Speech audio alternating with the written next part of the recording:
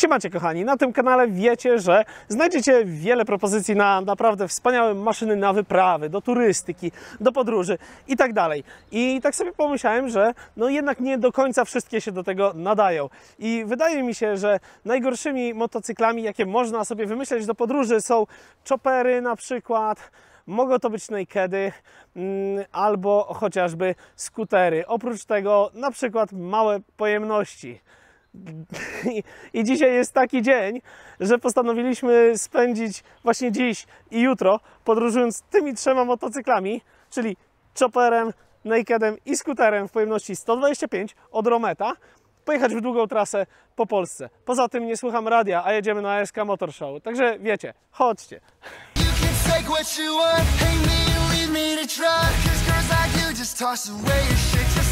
You Like I'm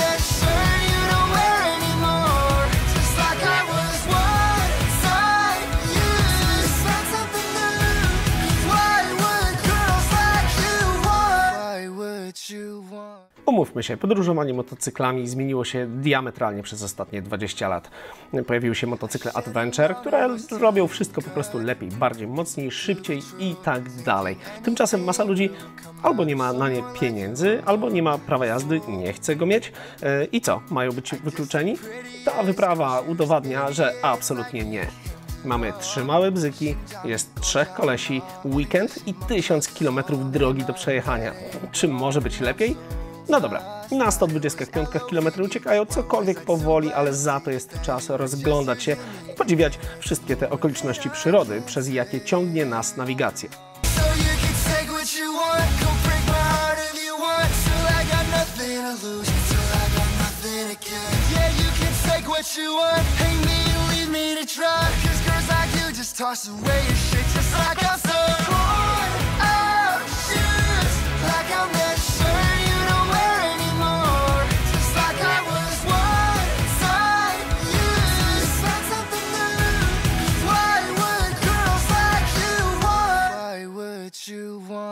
Wiecie, jesteśmy w połowie drogi gdzieś, a przynajmniej długi tak mówi, e, i śmigamy sobie tymi 125.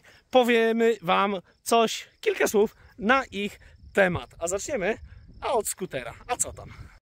W, te, w teorii miejski skuter, ale w praktyce mamy stosunkowo duże koło, bo to są czternastki.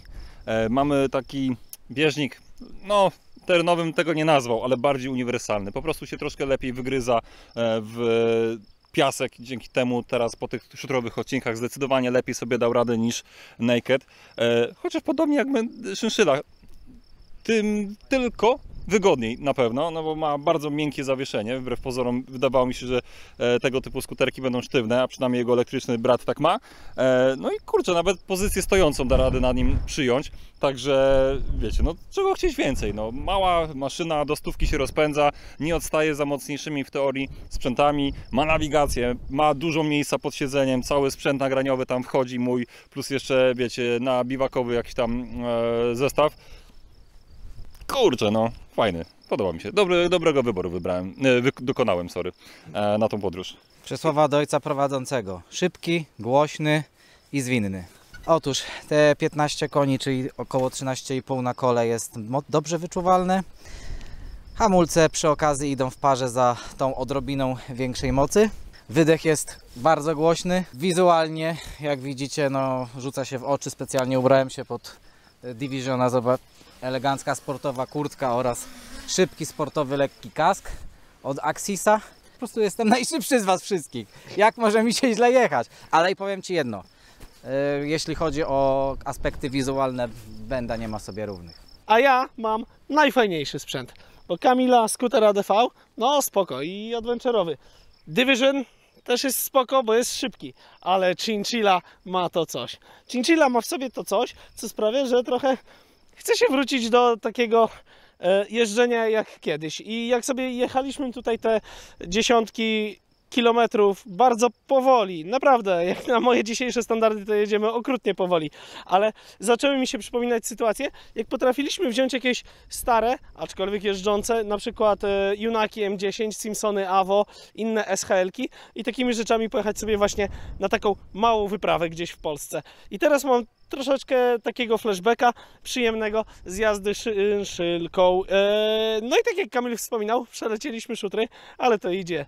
Naprawdę jestem mega zaskoczony, bo jest małe, niskie, nisko środek ciężkości. A ostatni raz jeździłem e, chopperem w terenie, jak miałem Yamaha XV 1100, która jeszcze miała przydomek Virago. Mm, e, I potem ją sprzedałem i były już tylko DR-ki. E, A teraz znowu chopper, cruiser i znowu teren. Mega fajnie ta wyprawa zaczyna wyglądać.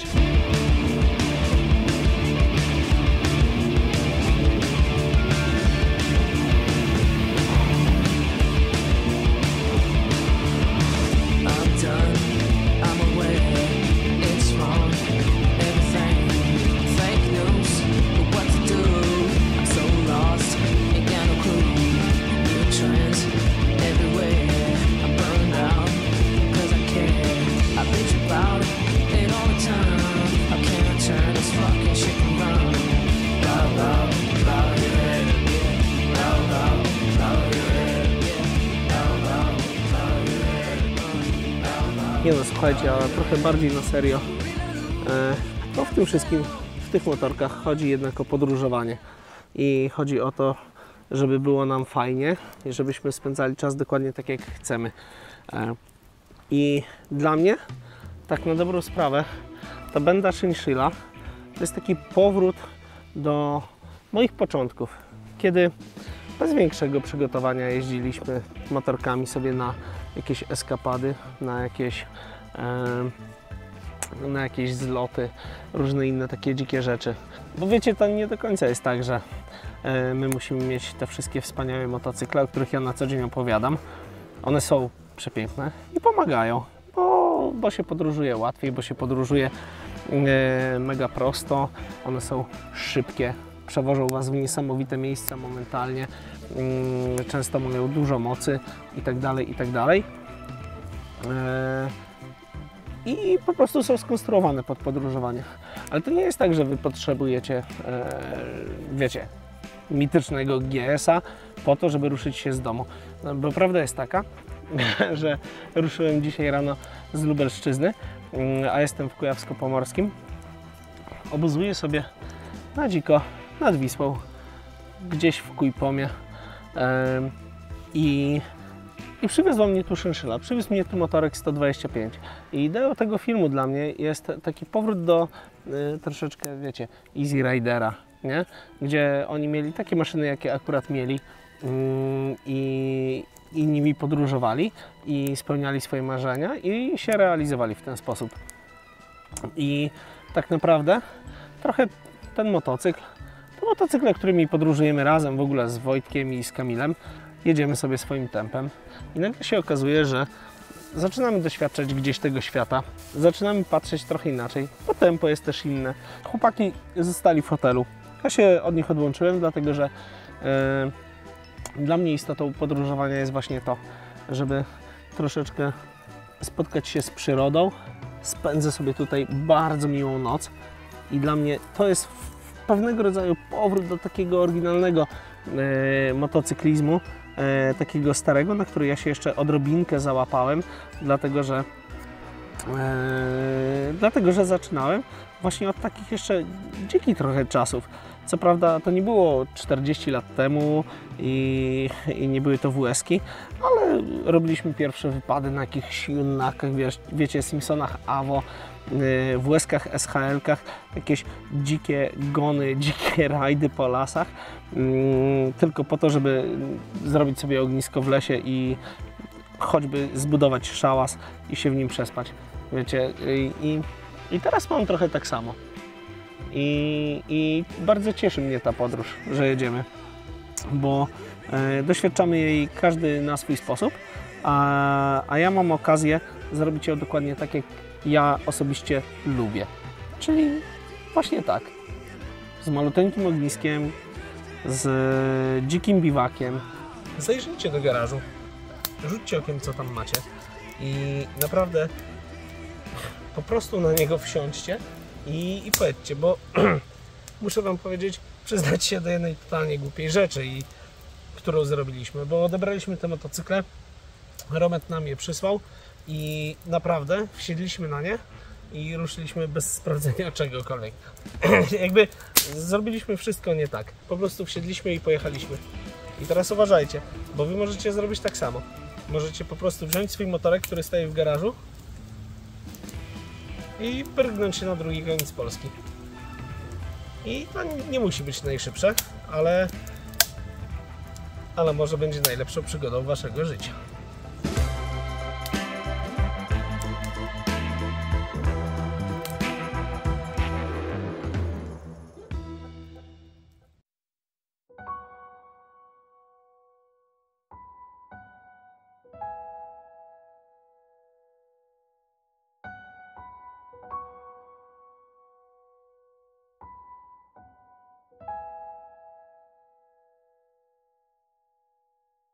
Dzień dobry, kochani.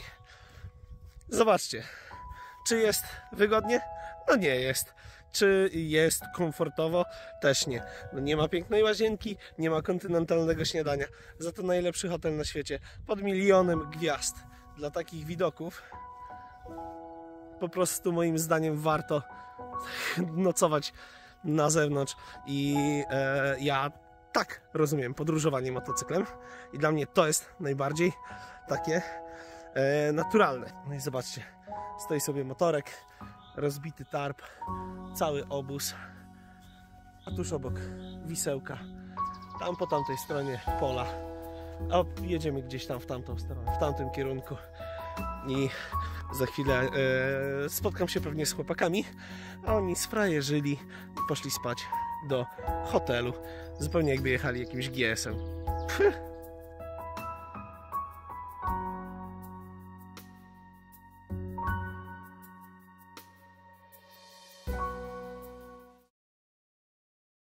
I taka jest różnica pomiędzy podróżowaniem takim, wiecie, adventurowym, przygodowym, a takim na wypasie, fajnym, w ogóle z hotelami, kwaterami i takie tam. Jestem na stacji. Już prawie godzinę czekam na chłopaków. Oni jeszcze się nie zebrali. Jeszcze kawkę, jeszcze śniadanko, jeszcze kibelek, jeszcze coś tam. Eee. Okej, dzień drugi ostatecznie wystartował. Znów gonimy nasze kucyki w stronę Drawska Pomorskiego, bo przecież o 16 musimy być na scenie SK Rider Show. Mimo wszystko postanawiamy radośnie zmarnować trochę czasu. Zobaczcie, historia jest taka, że jedziemy sobie, rozdzieliliśmy się, a jednak swój na swojego wpadnie, nie? Oczywiście, że tak. To trochę zasługa Wojska. tych wspaniałych okoliczności przyrody tutaj, bo okazało się, że razem z Kamilem wybraliśmy się przypadkiem w okolice poligonu drawskiego. Z dwóch stron jeziora mieliśmy jechać, no ale wyszło jak wyszło i wiecie, po jednej stronie poligon, po drugiej stronie poligon i trzeba było kombinować tak, że w końcu na siebie wpadliśmy, szukając dalszej drogi.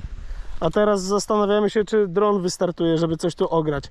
Jak tam Air Force One?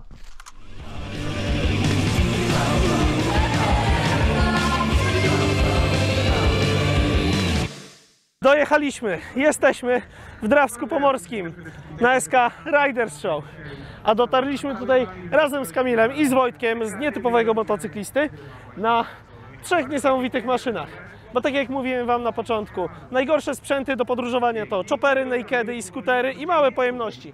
Więc wzięliśmy chopera, nakeda, skutera, wszystkie o pojemności 125 cm i dojechaliśmy tu. Ale chcę Wam opowiedzieć e, chwilę na temat mojej relacji z szynszylą, z którą spędziłem dwa dni i noc, żeby nie było. E, motorek naprawdę e, wzbudza we mnie taką pewnego rodzaju nostalgię.